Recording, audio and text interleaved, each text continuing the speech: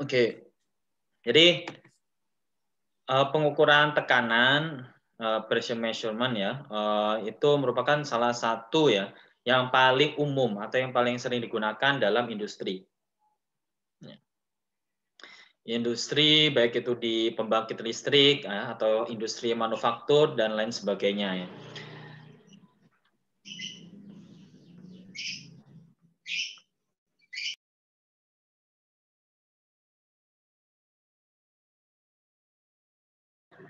Ya, uh, tekanan yang berhubungan dengan pengukuran aliran atau yang kita sebut ya dalam bahasa asingnya itu flow itu biasa digunakan secara ekstensif ya dalam industri, laboratorium dan area lainnya ya.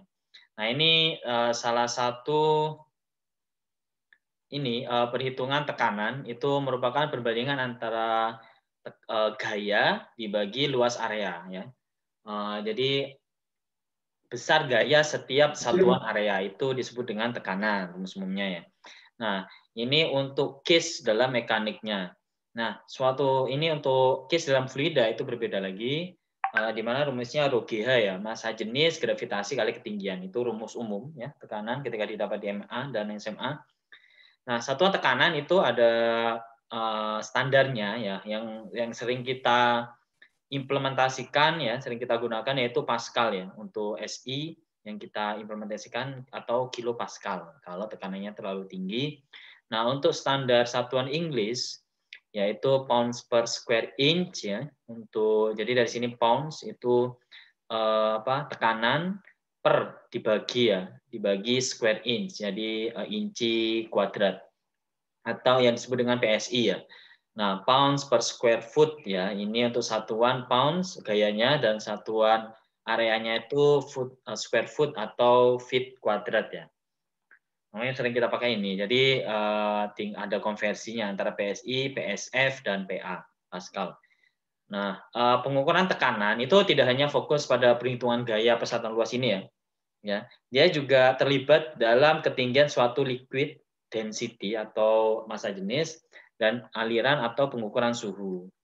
Nah, untuk uh, flow ini itu dia hubungannya dengan massa jenis ya. Nah, uh, sebelum kita melangkah ke tadi uh, terkait apa pressure untuk aliran dan massa jenis dan sebagainya, di sini ada beberapa istilah yang sering digunakan ya uh, dalam case tekanan. Yang pertama yaitu total vakum dan vakum. Apa itu vakum? Kayaknya udah umum ya. Vakum itu merupakan tanpa ada udara, ya tanpa ada zat media apa pun ya. Nah, di sini vakum untuk case tekanan itu merupakan uh, di mana tekanan di area vakum tersebut nilainya zero atau ketiadaan tekanan ya. Dia diekspresikan uh, sebagai uh, area yang terletak di luar ruang luar ruangnya. Nah, uh, jadi uh, vakum itu pengukuran tekanan yang dibuat antara vakum dan tekanan atmosfer normal.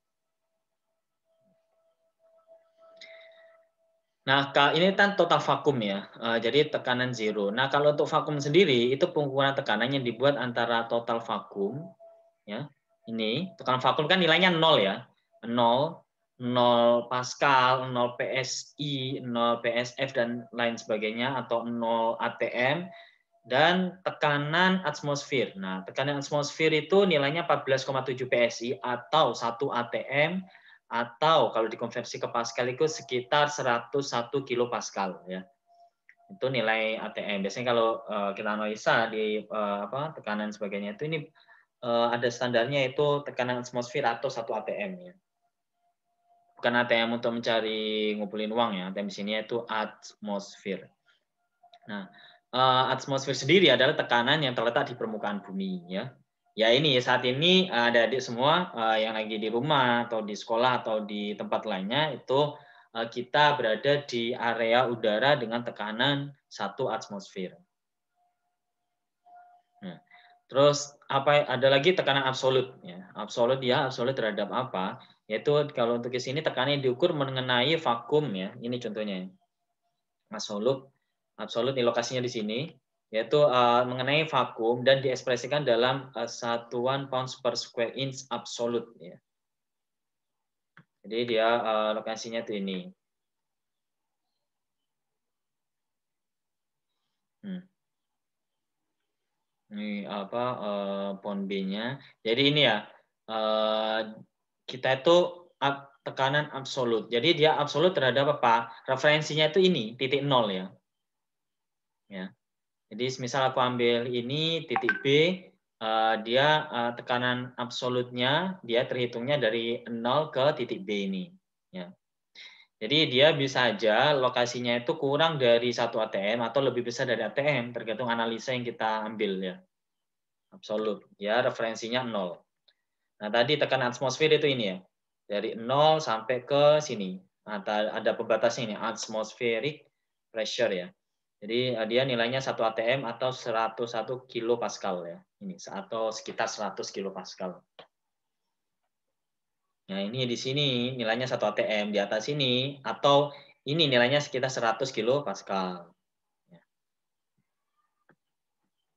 Uh, setelah itu ada ada gauge uh, pressure ya, uh, tekanan gauge, yaitu tekanan yang diukur mengenai tekanan atmosfer dan diekspresikan secara normal dalam satuan pounds per square inch gauge ya. Jadi ada tambahan notasi gauge-nya di sini. Hmm. Ini ya untuk uh, case ini yaitu PG. Jadi dia uh, referensinya itu dari titik ini ya, titik atmosfer 1 ATM. Misal ya, di titik A ya, tekanan absolutnya itu 2 ATM. Jadi tekanan Gauss-nya berapa ATM kalau gitu? Ada yang tahu nggak?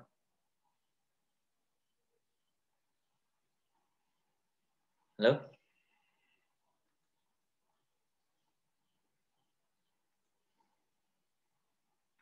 Ini ya manusia duduk-duduk.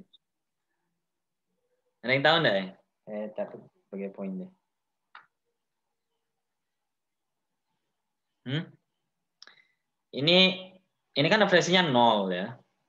Ini loh dari sini. Terus tekanan atmosfernya di sini itu satu ATM. Poin A itu tekanan absolutnya ini ya, PABS itu 2 ATM. Jadi tekanan Gaussnya itu berapa ATM? Ada yang tahu nggak?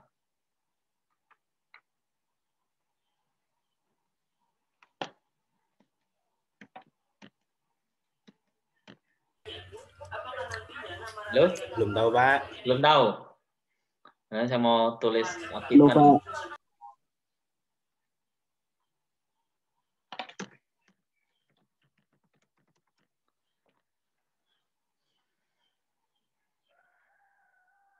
Ada yang tahu ya?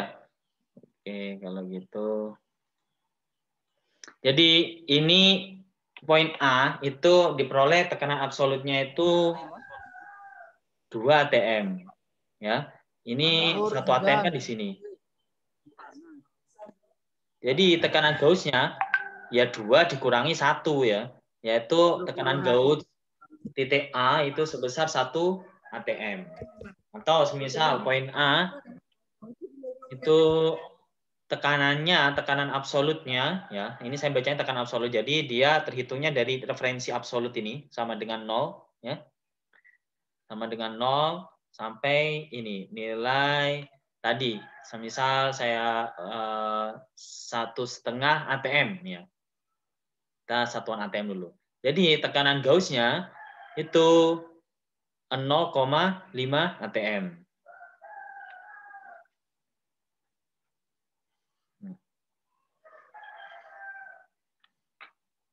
Jadi nah ini di bawah absolut. Absolut kan ini dia titik referensi nol ya. Eh, tekanannya. Di bawah absolut itu bukan berarti negatif ya. Di bawah absolut itu ya nol, yaitu namanya vakum. Jadi di bawah absolut sama dengan 0 ATM itu nilainya nggak ada tekanan di sini ya. Makanya kita juluki dengan vakum. Nah, uh, ini uh, mungkin salah satu ujian yang keluar ya. Jadi poin A ya, semisal poin B ya poin B itu nilai tekanannya itu kalau dilihat dari gambar ini bisa dipastikan dia pasti kurang dari satu ATM atau antara 0 sampai 1 ATM ya. Jadi ini nggak ada nilai eh, apa tekanan gauge-nya nggak ada. Kenapa? Karena dia kurang dari satu ATM atau di bawah pembatas tekanan atmosfer. Nah, ini ya. Jadi uh, gauge pressure itu tekanan diukur mengenai tekanan atmosfer ya. Uh, bukan mengenai ya, saya coba. Jadi uh, diukur uh, dari referensi tekanan atmosfer. Ya. Nah, jadi satuannya pounds per square inch ditambah gauge ya. Maksudnya satuan tekanan kan PSI, nah itu ditambah G gauge ya. Jadi untuk poin B ini nggak ada tekanan gauge-nya. Ya.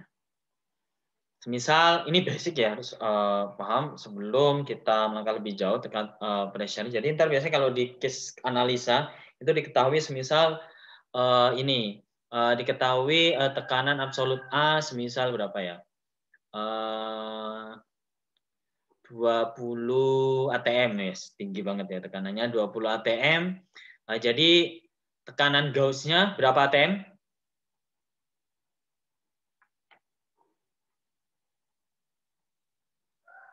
Halo, tidur semua ini orang lain. Tidak, Pak. Berapa? Kalau tekanan Tidak, Pak. poin A semisal 20 ATM absolutnya, jadi dari 0 sampai 20, tekanan Gauss-nya berapa ini? Mungkin 10, Pak. 10. Ada jawaban lain? Pak. 19, Pak. 19. Siapa tadi? Yang 19. Saya, Pak. Rafli. Rafli ya. Oke. 19 ya. Jadi uh, mana tadi? Roughly. Oh, Pak Ketua ya.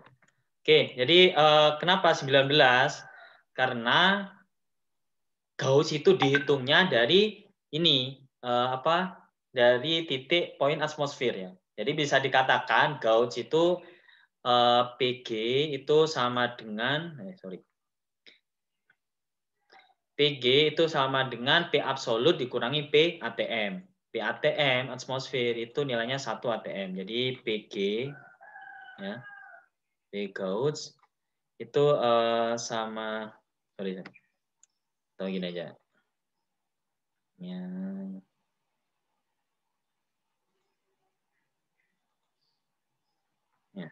Jadi PG itu uh, sama dengan P absolut titik A ya. ABS dikurangi P ATM. Tulisannya gak apa. Oke, tulisan anak TK.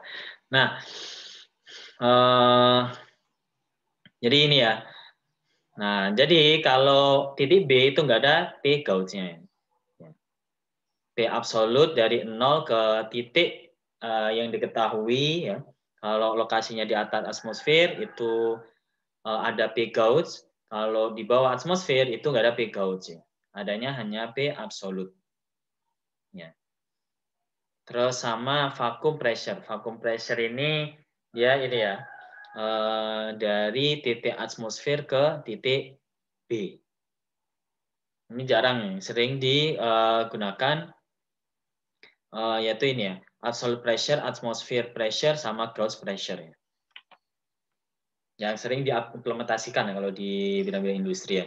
Nah, baik uh, tadi itu uh, penjelasannya. Nah, kemudian jika absolut uh, fluida tetap konstan ya, jika tekanan absolut fluida, jadi tekanan absolutnya ini ya, itu tetap konstan, maka tekanan gauge dengan fluida yang sama akan bervariasi ya seiring perubahan tekanan ATM. Jadi logikanya gini. Jadi kalau absolut ini tetap ya pasti yaitu nol. Nah eh, kalau ini tekanan ATM-nya berubah, ya bisa berubah ya. Nggak harus ya. Ya emang rata kita kalau standar kondisi normal itu satu ATM nilainya. Nah kalau ketika ada cuaca ya, makanya di sini ada kalau ada kondisi cuaca buruk atau altitude-nya lokasinya berbeda, misal di kutub utara atau kutub selatan itu kan tekanannya berbeda ya atau uh, di puncak Jaya Wijaya ya. Ini ada adik mas-mas dan banyak kalau daki gunung semakin ke puncak kan tekanan semakin rendah ya. Uh, makanya kenapa atmosferik itu tekanan yang ada di permukaan bumi. Jadi semakin ke atas semakin rendah. Nah, eh, makanya dia pengaruh ke altitude ya, ketinggian sama pengaruh sama cuaca. Nah, ketika atmosfer satu atm berkurang, contohnya berkurang 0,5, maka peak Gauss-nya juga akan bervariasi ya. Dia peak Gauss-nya juga akan bertambah ya. Dia akan intinya akan bervariasi karena dia acuannya ada di ATM pressure ya, tekanan atmosfer ya. Dan seterusnya. Nah, ini konversi ya. Eh, nggak perlu dihafal dan cukup uh, tahu aja cara bacanya. Jadi ini satu pascal nilainya uh, ya satu pascal. Pascal itu sama aja satu NSI yaitu n per m kuadrat ya. Ya satu pascal berapa bar? 10 pangkat min 5 bar. Ini ini baca tampil aja ya. Jadi konversinya nggak perlu dihafal. Oke, nah ini tadi ya, satu ATM itu nilainya 101.325 ya. Ini ingat ini Inggris, jadi komanya di sini itu koma bukan koma desimal ya. Namun koma eh, ini apa penunjuk ribuan ya dan seterusnya kelipatannya. Kalau komanya di versi Inggris itu kan titik ya. Koma desimal. Ini jangan sampai salah baca ya. Nah, eh, untuk tekanan itu dibagi tiga karakteristik ya. Yang pertama tekanan statis. Nah, ini ilustrasi gambarnya ya. Jadi ada ibarat ini kayak apa ya? Pompa, kok pompa. Aliran ya, aliran air ada di selang, saya selang atau pipa, nah ya. Pipa terus ini uh, ada cabangnya kecil titik A ya. Jadi disebut ada disebut dengan tekanan statis itu tekanan fluida atau gas ya gas itu termasuk fluida juga ya. Fluida nggak harus uh, air ya. Dia dia uh, bergerak, ada gas, ada cairan. Uh, dalam kondisi tetap atau tidak dalam pergerakan. Jadi dia kondisinya tetap atau tidak dalam pergerakannya. Nah, terlihat pada gambar titik A di sini ya. Ini kita sebut static pressure ya, tekanan statis itu sebagai tekanan statis ya. Walaupun fluida yang ada di atasnya itu dia bergerak dan ini kondisinya tetap ya. Ini sebenarnya kalau mau pengen analisa belajar-belajar fluida itu pakai SolidWorks ya. Kita ilustrasikan, kita setting itu ini berupa air, berupa gas atau apa. Ntar coba ya di play dia akan menjalan, eh, berjalan tiga dimensi ya. Tergantung ya. Kalau gambarnya dua dimensi ya dua dimensi. Kalau tiga dimensi ntar kita analisisnya tiga dimensi ya. ya pesawat-pesawat itu kan dia belajar fluida ya. Ketika eh, apa turbulensi, pesawat naik turun dan seterusnya. Nah, Adapun tekanan dinamis, sudah pasti tahu tekanan dinamis itu dari titik B ke A ya, dia uh, bervariasi ya. ya. Bagian uh, ini kan pasti ada gaya-gesek ya di sini ya. Jadi ini yang di tengah pasti lebih cepat daripada yang di pinggir karena dia kegesek ketahan oleh uh, permukaan pipa. Ya, makanya dia dinamis ya. Semakin ke tengah semakin ini tekanannya ada perubahan ya, variasi. Nah, Eh, jadi referensinya permukaan atau objek karena pergerakan uh, atau aliran. Jadi titik A, titik B ke A, representasi dari tekanan dinamis. Nah, yang terakhir yaitu impact pressure atau total, total tekanannya. Tekanan adalah total tekanan statis dan dinamis ya, pada permukaan objek. Jadi uh, yang kita hitung di sini ya. Jadi ini uh, apa? Kalau statis ini kan uh, pasti mendekati nol ya.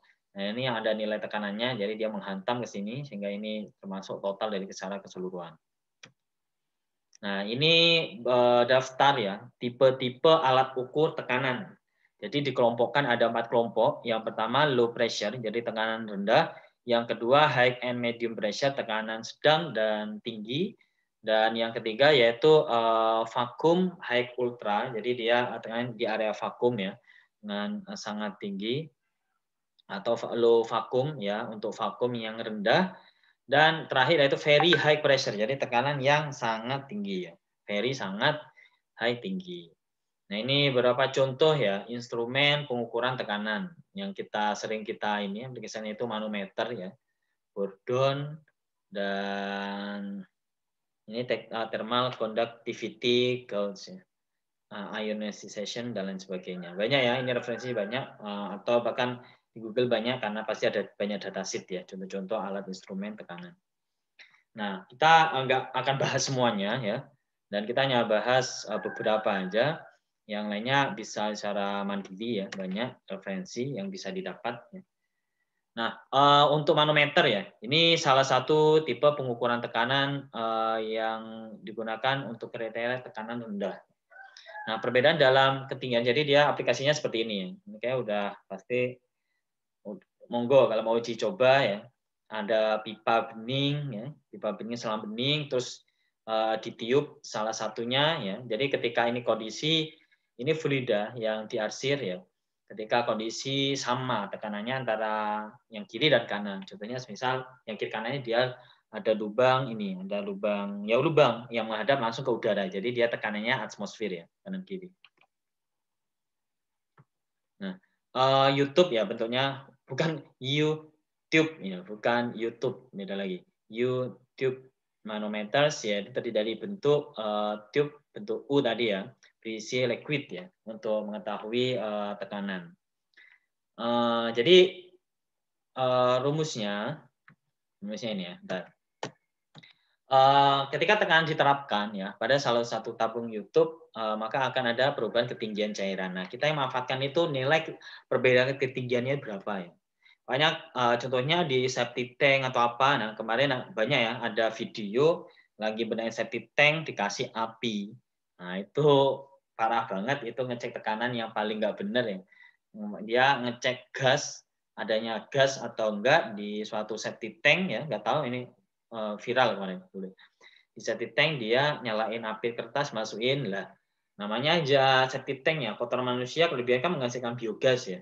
Biogas tumpuk-tumpuk bertahun-tahun bayangin langsung masukin api yang meledak ya langsung. Ya meninggal orangnya.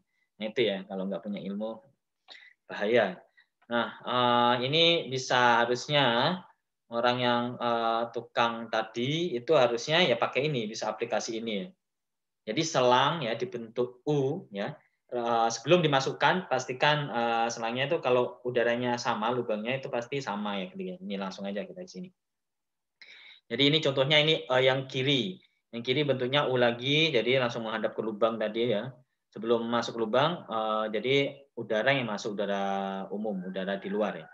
Jadi pastikan posisi gini ya. Dulu ketika saya pengabdian juga pakai konsep ini ya, manometer ya. Jadi saya pengabdian dulu di Madura itu pakai ini apa uh, biogas dari kotoran ternak. Madura kan terkenal ini pasti ada yang anak-anak Madura ini. Nah Madura terkenal ini ya uh, sapi.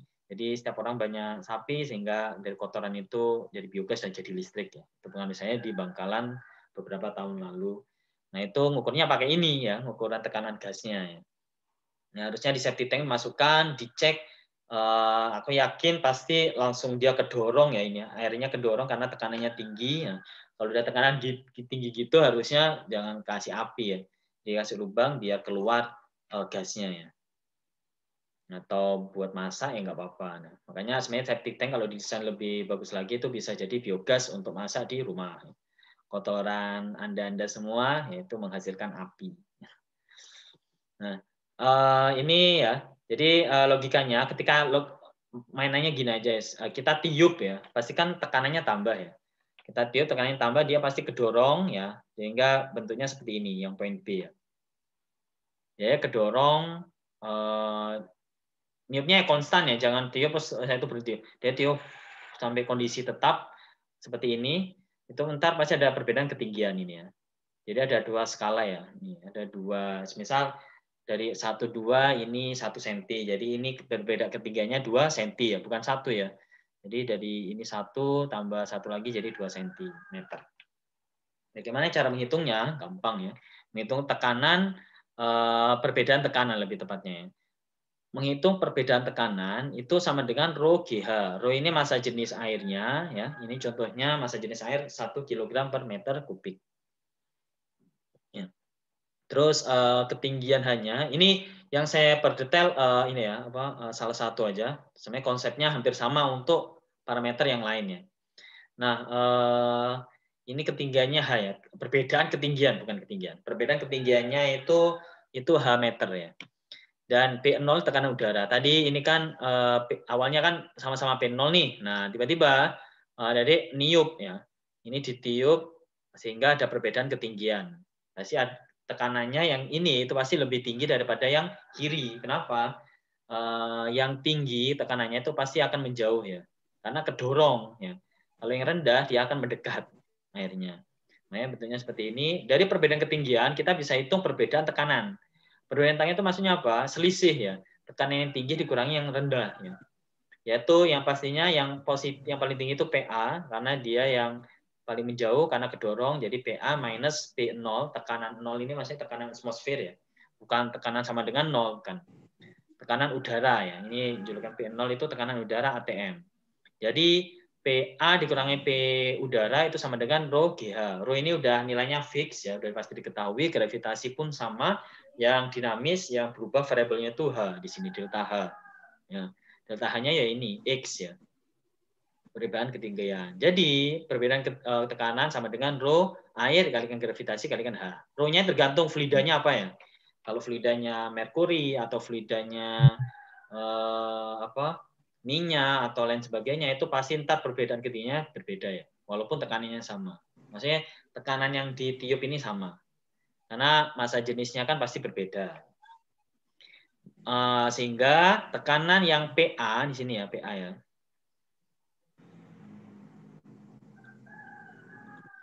ini PA iya iya nah PA ya jadi tekanan PA sama dengan, jadi minus P0 atau minus tekanan udara ATM ini berpindah ke kanan, jadi positif ya. Jadi PA sama dengan P atmosfer atau P udara ATM plus rho GH. Hingga ketemu tekanannya ya. Ya tadi tekanan biogas akan kita bisa langsung dihitung. Uh, selan, selanjutnya yaitu Bourdon tube ya. Ini prinsip operasinya, ini merupakan alat ukur khusus ya. Jadi alat ukurnya macam-macam kenapa? Karena objeknya juga macam-macam ya. Dan dan karakternya juga macam-macam tadi. Ada yang very high uh, pressure, terus uh, ultra high vacuum ya, nilai vakumnya terlalu tinggi dan jenis-jenis jetnya yang diukur tekanannya berbeda-beda, ada liquid, ada non liquid, ada gas dan sebagainya. Nah, untuk ke sini ini khusus non liquid jadi bisa gas ya. Nah, bentuk dari borderon seperti ini. Ini penampangnya, karena bentuk aslinya itu seperti ini ya. ya. Bentuk tiga dimensinya. Ini penampang yang di dalamnya. Kita kan ingin tahu yang di dalamnya itu seperti apa ya. kali ini ada adik bisa ini menciptakan alat ukur tekanan yang efektif dan efisien dan murah. Bisa jadi bisnis. Gitu.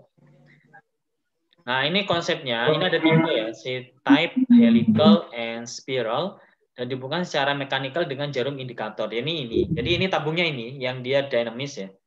Jadi uh, kalau ada tekanan udara atau apa, dia kan pasti akan mendorong ya di sini.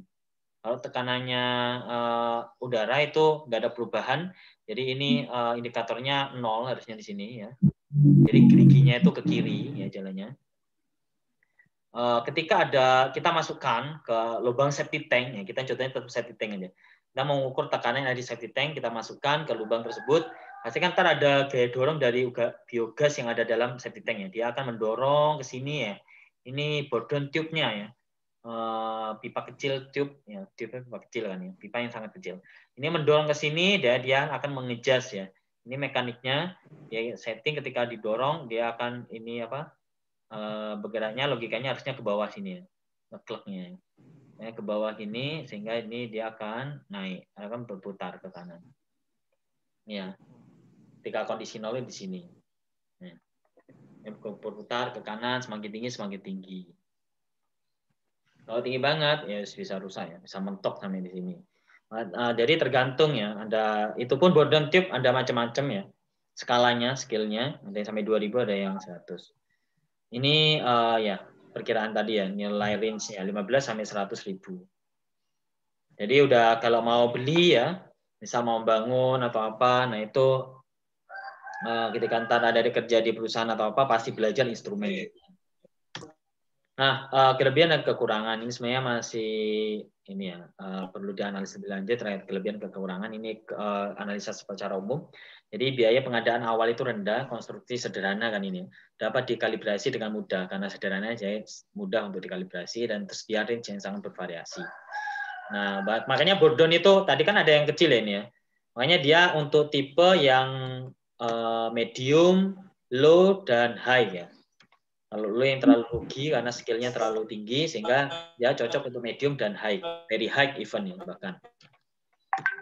Kelemahannya itu ini ya, peka terhadap guncangan atau getaran. Misalnya lagi kok tekanan terus pada dari gempa ya nggak nggak akurat ya hasilnya ya. Ya selalu peka. Nah, yang selanjutnya itu diaphragm pressure gauge ya. Jadi uh, gauge tekanan diafragma ya. Ini dari diafragma. Ini penampangnya secara umum. Jadi ada dua lubang P eksternal ini tekanan dari luar. Ini referensinya. Referensi itu ketika tekanan ini dan titik ini itu sama ya ini referensinya, jadi ini tekanan udara ya. Jadi ini tekanan eksternal, eksternal maksudnya tekanan yang akan kita ukur ya. Jadi ini tergantung dari sumber mana bebas. Ini tetap kali ini. Jadi ini indikatornya dari ini ya. Nah, ketika ada perbedaan eksternal dan eh, referensi, ini semisal udara satu atm, ini semisal lebih dari atm, itu logikanya pasti kedorong kan dia ya ini membran ya. Diafragma tahu ya, diafragma kalau di perut gitu ya. Eh, pembatas antara apa eh, struktur pernafasan dengan pencernaannya yang usus itu. Jadi ada pembatasnya. Makanya kalau bernafas itu kan ada nah ini kan nah pas bernapas gitu kan kedorong ya diafragmanya ya. Nah, ini contohnya seperti itu. Makanya ini contoh case-nya itu uh, analoginya diafragma. Jadi ketika logikanya ketika kita masukkan udara Nah, ini kan eh, menambah tekanan ya. Makanya ini pasti diafragmanya akan ke bawah. Pas lepas, diafragma kembali lagi. Bagian ini. Ketika ada perbedaan, dia kedorong. Nah, ini eh, contoh penampang alatnya ya. Ini diafragma horizontal di sini. Ini lubang yang akan dihubungkan dengan eh, area non liquid atau liquid ya non liquid ya yang akan kita ukur ya. Ini prinsip kerjanya sama seperti itu. Nah ini macam-macam tadi ya. Uh, tipe elemen ya. Tadi kan elemennya diafragma. Ini ada tipe elemen yang lain namanya kapsul ya. Nah ini biasanya kalau kalau membran itu uh, mungkin untuk bukan nggak cocok ya untuk yang makanya ini tipenya mana tipe tadi.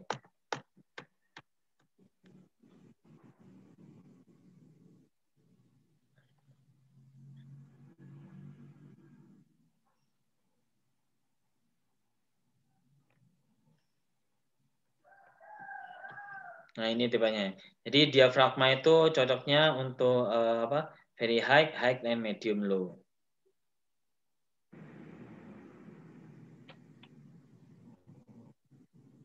Oke, nih. Terus ini tipe namanya bilu. Bilu ini bentuknya seperti ini, kayak ada lipat-lipatan uh, antara dua membran ya. Kemudian membran seperti kapsul. Nah, ada sensor-sensor tekanan lainnya ya. Saat ini ada namanya barometer baru ya digunakan untuk mengukur tekanan atmosfer, barometer merkuri saat ini uh, alat ukur ini jangan digunakan ya. Kenapa? Karena dia itu pakai ini zat merkuri. Ini contoh ini ya, uh, gambaran bar barometer barometer ya. Nah. Terus yang selanjutnya ada piezoelektrik ya. Jadi dia memanfaatkan piezoelektrik untuk uh, menganalisa ya, untuk mengukur suatu tekanan. Yang terakhir itu kapasitif uh, capacitive devices. Itu memanfaatkan analogi kapasitansi ya antara diafragma dan papan yang fix untuk mengukur tekanan. Baik, itu dulu uh, ada yang tanyakan terutama yang mengukur tekanan ya. Ini basicnya tadi ya. Oh, ini kan tinggal belajar yang manometer sih ya, ada perhitungan. Ada yang tanyakan atau udah cukup jelas? Enggak, hitungannya hanya ini aja. Lainnya hanya materi dan prinsip kerjanya.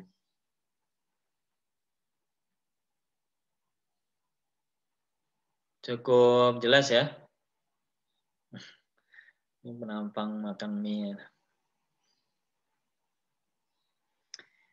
Ya, gimana? Udah cukup jelas? Nih.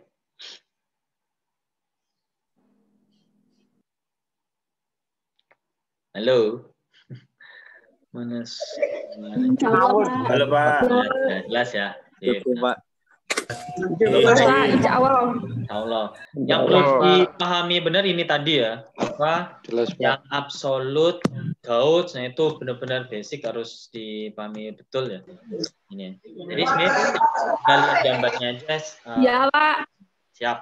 Oke, itu dulu. Kalau nggak ada pertanyaan, uh, Mas Rafli, monggo bisa dipimpin doa baca surat wal asri dan kafaratul majelis. Bismillahirrahmanirrahim. Wal asri innal insana lafi khusr innal ladzina amanu wa amilus solihati Amin. Bismillahirrahmanirrahim. Amin. Amin. Ya, terima kasih dan semuanya dan uh, ketemu lagi di pertemuan selanjutnya jam yang sama ya. Ini di uh, jam yang Oh. sama. Eh, Kamis sampai Selasa, Pak. Dan terima kasih dan semoga bisa melanjutkan kegiatan masing-masing. Ya, dari saya wassalamualaikum warahmatullahi wabarakatuh. Waalaikumsalam warahmatullahi wabarakatuh.